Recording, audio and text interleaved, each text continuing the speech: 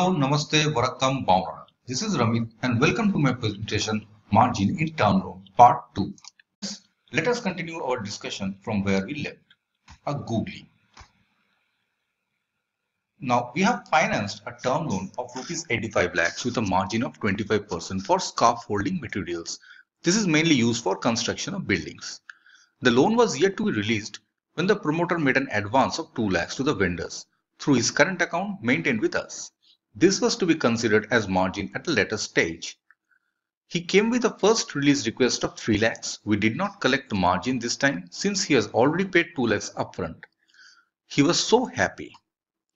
Next time he came with a second payment request of 7 lakhs where he computed his margin on his own as discussed in the next slide. Now this I call it a reverse sweep.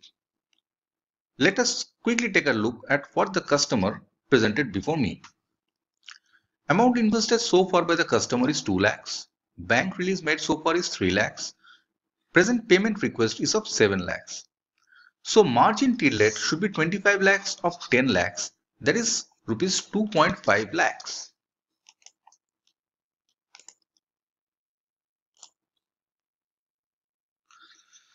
Since he has already paid 2 lakhs, we have to collect balance amount of 50,000 rupees only. Now, I asked in my earlier presentation, what is your opinion on the above calculation submitted by the party?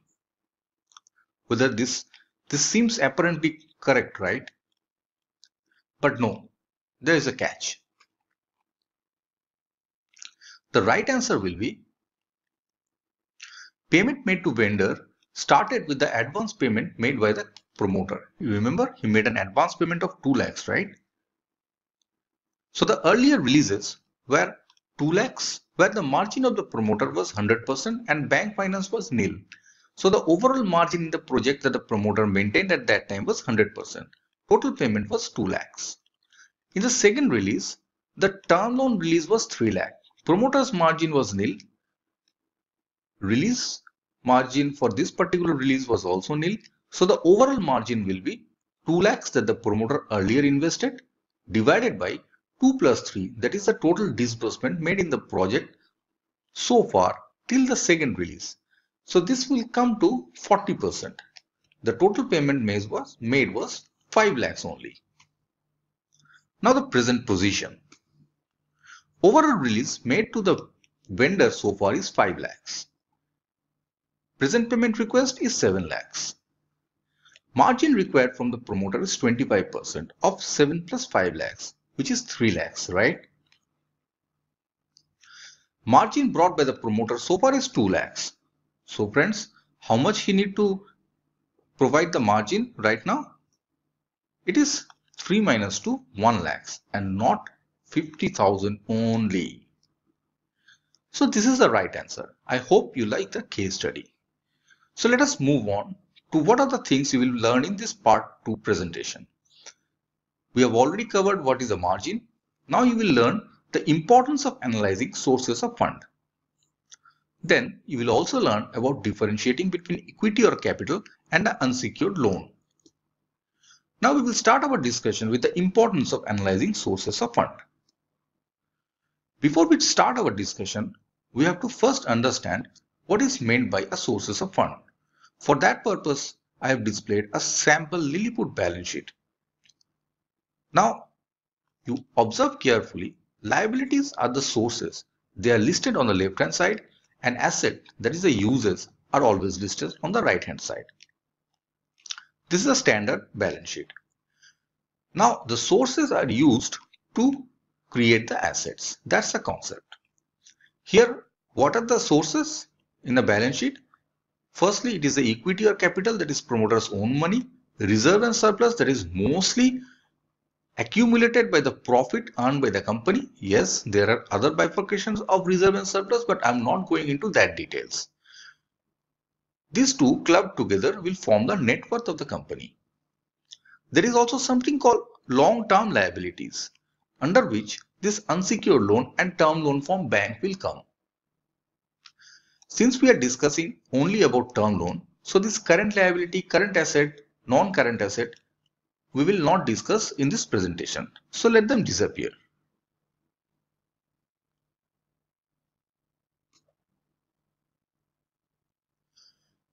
Now, what are the importance of sources of fund? It is import, it's important on the economic viability of the project, whether the project will be economically viable, whether the company will be able to arrange the funds necessary to infuse and make the construction to purchase the machineries and etc. It is important in order to understand whether there will be any abrupt discontinuation of the project. We have to avoid this. There should not be any discontinuation of the project. Any discontinuation in the project will mean cost overrun, time overrun, etc. Ensuring promoters have their own skin in the project. Friends, we all are bankers. We are not meant to run the business. The businessman or the company has to do that job. Now, if you think of a situation when promoters have not put in their own money, they're doing the business only in bank's money, naturally their interest will go lesser. So if you can make them to put their own skin or own money in the project, it's only then they will have interest to make it a success.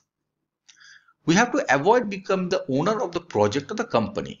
We are bankers and we will happily leave as bankers. You can't imagine yourself in a situation where you suddenly become an owner of a dairy farm with 10, 15 buffaloes and cows and you don't know how to handle the business. So that was about the sources of fund and its importance. Now let's, let's move on to the next topic.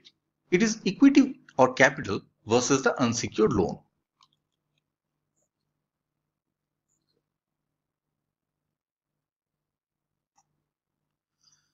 This difference is prominent only in case of private limited companies. In case of partnership, in case of proprietorship, not much difference. There is not much difference. These equity and unsecured loans are different categories in case of private limited companies only. You must remember that. This equity or capital is company's own source of fund, generally contributed by the promoters or the shareholders, proprietors, partners, and some cases by other companies as well. Friends, I repeat, please remember that a company can get its equity or capital from other company as well. A company is permitted to invest in other company. These are interest-free liabilities and they have to file with register of companies that is ROC, register of companies regarding their position of equity and capital. Unsecured loans are long-term loans, liabilities in the balance sheet of the company or promoters from promoters, partners, friends and relatives. A company can borrow funds from other source, from sources other than banks. It could be its own promoters or partners, friends and relatives or other body corporates as well. They might be interest bearing and there is no need to file an ROC for this. There is no need to inform the register of companies regarding unsecured loan. That's the main advantage why the promoters always love unsecured loan, which I will discuss in the next slide. The bankers, we as a banker, always prefer equity. The question is why? Once the company brings some equity, it is always difficult for the company to withdraw the same from the system. You have to conduct an ordinary shareholder meeting. You have to inform the register of company and there are n number of uh, formalities that you have to perform before you can actually withdraw the equity from the company. I repeat, all these discussions are regarding private limited companies only. That's why we bankers always love private limited companies. In case of partnership, proprietorship, there is no such discipline. Nothing is available. Companies Act 2013 will always give you that strength that you can actually sue the directors if they do not obey the Companies Act 2013. It's an act passed in the parliament. So these are all described in that act. We can cross-check the amount with the information in Ministry of Corporate Affairs website, that is MCA website. I will give the description in my link of how to check a company's information in MCA website. So you can get a satisfaction that whatever is displayed in the balance sheet or whatever the company is informing you that they have actually filed with Ministry of Com Corporate Affairs and remember, if that gives any wrong declaration in this MCA website, they are liable to be punished under Companies Act 2013. Infusing equity in a company will always improve the debt equity ratio and the TOL TNW ratio. Now, this debt equity ratio and the TOL TNW ratio forms the benchmark while assessing your term loan. So any improvement in D ratio and TOL TNW will always give a comfort to the banker that yes, the company is more interested to do the business in his own money. Now the question is Promoters always prefer unsecured loan. The question is why? They can easily withdraw it from the company. That is one of the main reason. If they they need not inform the register of the company or they need not inform they need not update the details in the ROC so they can easily withdraw the unsecured loans. There is no registration cost involved for bringing the money. In order to increase the equity of the capital, you have to pay some amount to the register of companies. Likewise, you, you if you friends, if you purchase some land, building, etc., some fixed asset, you have to go to the register office and register it in your name. There you have to pay some money to the government, right? Even if you purchase a car or vehicle, you have to go to the RTO and register the vehicle in your name, right? Likewise, in case of a company which is a body corporate, you have to pay to the register of companies to modify any information already filed with register of companies. Now, what are the precautions you must take while considering unsecured loan as margin or unsecured loan in your system? You have to take a notarized affidavit from the company that unsecured loan will not be withdrawn during the currency of the loan.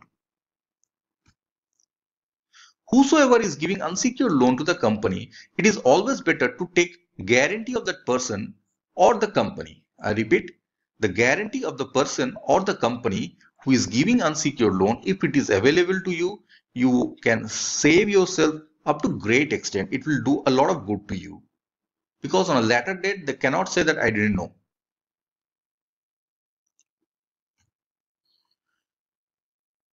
Unsecured loan, if proposed to be brought from relatives or other company, we need to verify their net worth statement or AFS and, uh, and ascertain their capacity.